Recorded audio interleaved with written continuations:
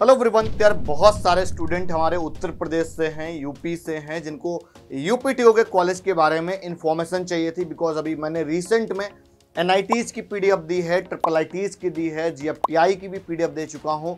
सारी की सारी टेलीग्राम ग्रुप पर अवेलेबल हैं, आप भी जाकर ज्वाइन कर लो, अगर आपने अभी तक टेलीग्राम ग्रुप नहीं ज्वाइन किया है तो। और एक मेरा फ्री गाइडेंस फॉर्म भी है, अगर आप हमारी टीम के साथ इंटरेक्शन करना चाह रहे हैं, मेरे से पर्सनलाइज काउंसलिंग लेना चाह रहे हैं अपनी मेरिट के अकॉर्डिंग आप अपने बेस्ट कॉलेज जानना चाहते हैं तो उसके लिए आप एक फ्री गाइडेंस फॉर्म और आप हमारी टीम से कंसल्ट कर सकते हैं। तो वीडियो को कंप्लीट एंड तक देखना बिकॉज़ मैंने सारे पॉइंट सारी चीज़ें, सारा फ़ी स्ट्रक्चर सारा placement record A to Z सारी चीज़ें कवर अप कर रखी हैं। तो यार, ये वीडियो यार उनके लिए है जो लोग ए के ट्यूब की यूपी ट्यूब के टॉप कॉलेज की कट ऑफ़ जानना चाहते हैं। तो सिंपली आप आ जाइए यहाँ पे सबसे पहले टॉप टेन कॉलेज की बात करेंगे। गवर्नमेंट प्लस प्राइवेट को हमने थोड़ा सा मिक्सअप कर दिया है। और गवर्नमेंट कॉलेज का फ़ीस स्ट्रक्चर 65 से 95 के बीच में होगा पर ईयर। हॉस्टल फ़ीस 45,000 से 55,000 के बीच में होती है।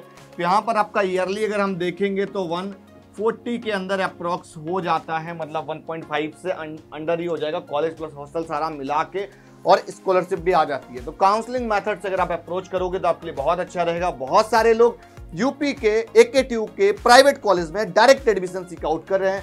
डायरेक्ट एडमिशन अगर आप लोगे तो आपकी स्कॉलरशिप नहीं आती है। हाँ अगर आपका बजट है मैनेजमेंट कोटे एटॉल का तो आप हमारी टीम से भी कंसल्ट कर सकते हो। वो ए का कोई भी कॉलेज हो, वहाँ पर आपको जो ब्रांच आप चाहते हैं, उस ब्रांच के अकॉर्डिंग आपको वहाँ पर सीट अलॉटमेंट करा के दी जाएगी। सेकेंड थिंग यार, अगर जब प्राइवेट की कॉलेज की बात करते हैं तो मैं बोलूँगा, अगर मैनेजमेंट कॉलेज से करना है तो डिले मत करो। काउंसलिंग से करना है तो अपने अकॉर्डिंग कॉलेज शॉर्टलिस्ट करके रख लो। हाँ और मैं एक चीज़ और बोलूँगा कि अगर आपकी मैरिट ईयर 80 परसेंटाइल से अवब है, या 75 परसेंटाइल से अवब है, और आपके पास कोई रिजर्वेशन है इट्स मीन की ई है ओबीसी है तो आपको डरने वाली कोई बात नहीं है, चिंता वाली कोई बात नहीं काउंसलिंग को कंप्लीट खेलो इट्स मीन के एंड तक करेंगे। और यार कट ऑफ़ एनालिसिस वाले पार्ट पे भी अभी आएँगे। प्राइवेट कॉलेज की फ़ीस की बात करें one lakh twenty five thousand से वन लाख फिफ्टी थाउज़ेंड के अप्रॉक्स यहाँ का फ़ीस स्ट्रक्चर रहता है। हॉस्टल अगर दिल्ली एनसीआर रीजन की बात करेंगे तो आपका एटी थाउज़ेंड से वन लाख रुपीज़ के बीच में रहता है। वैसे भी हम इंडिविजुअल कॉलेज वाइज भी वीडियो बना चुके हैं और इस वीडियो के डिस्क्रिप्शन में आपको एक लिंक मिलेगी। लिंक कौन सी? कट ऑफ़ वाली लिंक जो टॉप टेन कॉलेज मैंने शॉर्टलिस्ट किए हैं, उन सब की कट ऑफ़ पूरा कैटेगरी वाइज आपको दे रखा गया है। जो यहाँ पर ये वाला पॉइंट है, उसमें वही है, जो टॉप टेन कॉलेज है, वो जनरल है ईडब्ल्यू e है ओबीसी है एस है एसटी है। हाँ होम स्टेट का है या ऑल इंडिया कोडे का, कोई भी हो ए टू जेड सारी की सारी इन्फॉर्मेशन पीडीएफ में दे रखी है, अभी ब्रीफ करूँगा। तो ये यार कुछ कॉलेज हैं जो टॉप टेन है। ऑलमोस्ट आप सभी को पता होंगे यार। और दो पॉइंट और मैंने दे रखे हैं, अगर आपका किसी का सेवेंटी से भी कम है ना सेवेंटी फाइव से भी कम है तो डरने वाली कोई बात नहीं है। आपकी भी स्कोरिंग के बिहार पर कुछ ना कुछ सोल्यूशन निकाला जा सकता है, अगर आप काउंसलिंग बेसिस पे जाएँगे। दूसरा चीज़ फ्री गाइडेंस और पर्सनलाइज काउंसलिंग के लिए मैंने ऑलरेडी बता रखा है। अगर टॉप टेन कॉलेज की लिस्ट चाहिए, उसको पोस्ट करके स्क्रीन ले लो। और कुछ इंपॉर्टेंट पॉइंट्स मैंने यहाँ पर लिख रखे हैं। अगर आप हमारे यहाँ से पर्सनलाइज काउंसलिंग लेते हैं तो आपको 110 परसेंट अलॉटमेंट मिल जाएगी। आपके मेरिट के अकॉर्डिंग प्रोडिक्शन किया जाता है। तो यार सिंपली अगर हम कट ऑफ़ पे देखेंगे, भाई आईईटी लखनऊ की बात करें, बच्चा होम स्ट्रीट का है। अगर सीएस चाहिए तो कितने तक मिलेगी? Twenty eight thousand seven twenty four तक। अगर एआई की बात करें थर्टी फाइव थाउज़ेंड तक मिल रही थी। थोड़ा सा सेल्फ फाइनेंस सीट की तरफ़ जाएँगे थर्टी एट तक मिल गई थी। हाँ अगर आप सीएस में बात करेंगे कैनेटी सुल्तानपुर की 46,000 तक मिली थी। ये डेटा राउंड फोर्थ का है यूपीएस डबल काउंसलिंग का बिकॉज़ राउंड वन में काफ़ी सारी प्रॉब्लम्स आई थी काफ़ी सारे वेरिएशन आए हुए थे। और भी अगर आप किसी कॉलेज की देखना चाह रहे हैं बी आई झांसी की C S forty nine thousand अगर आईटी की बात करेंगे वहीं के पे है ना?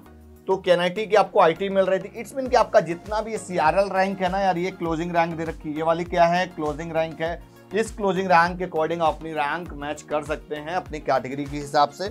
आपको ये पूरी कंप्लीट पीडीएफ मिल जाएगी यार। तो कोई दिक्कत वाली बात नहीं। अगर थोड़ा सा जेएसएस नोएडा में अगर हम बात करें कि भाई हमको कंप्यूटर साइंस कितने पे मिली थी जेएसएस का 56,130 तक मिल गई थी।